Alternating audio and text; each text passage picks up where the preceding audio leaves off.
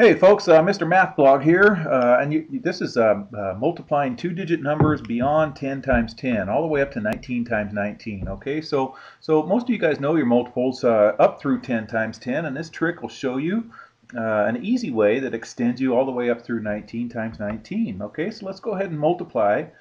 try it out, 11 times 12. Okay, so when I was um, going through school, this was a long, long time ago, way before you guys are born probably.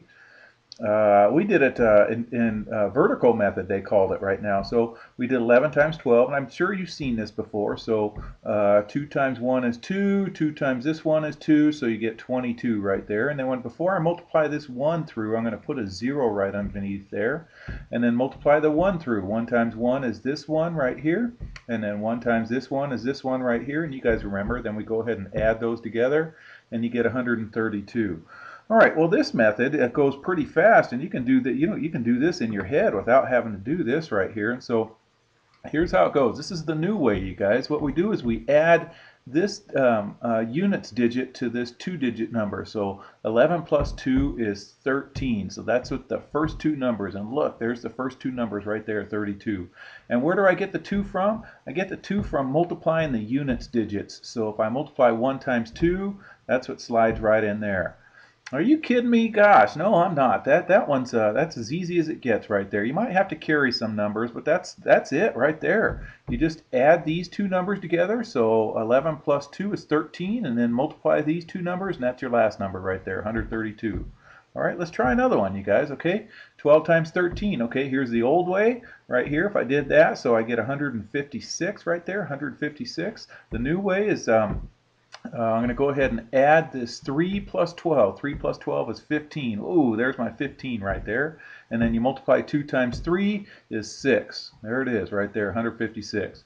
That's incredible. That goes so much faster. You can almost do that in your head. Let's try it with this one. Okay, this is going to be our first carry.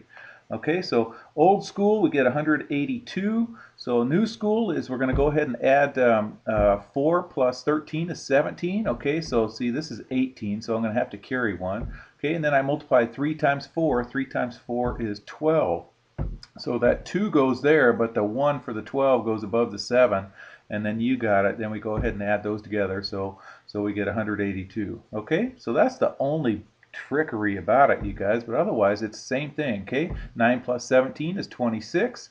7 times 9 is 63, so I carry that 3 straight on top, and then 26 plus 6 is uh, 32, so 323. Okay, and that's what you'd get um, uh, doing it the longer way also. Okay, let's try 16 times 19, you guys. Okay, 9 plus 16 is 25, and then 6 times 9 is 54, so I add those together and I get 304. Wow. All right, let's try one more. Let's go all the way up to 19 times 19.